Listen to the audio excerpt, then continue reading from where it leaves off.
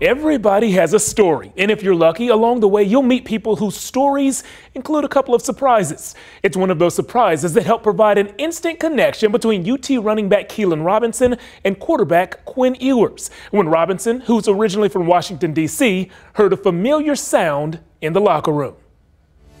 I hear like this music through the locker room, just like dun dun dun dun. I'm like, damn, that sounds familiar.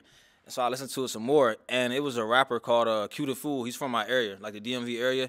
And nobody down here, I, I wouldn't expect no one down here to listen to Q Da Fool because like he's pretty local. And so I go in the locker room, like, this Q. And I walk over and I see the white dude with the mullet that just got here. What? Like, I wasn't expecting that. Yep, now I need to see Quinn's full pregame soundtrack. I'm going to censor that before we put it on television. The season kicks off against Louisiana Monroe one week from Saturday.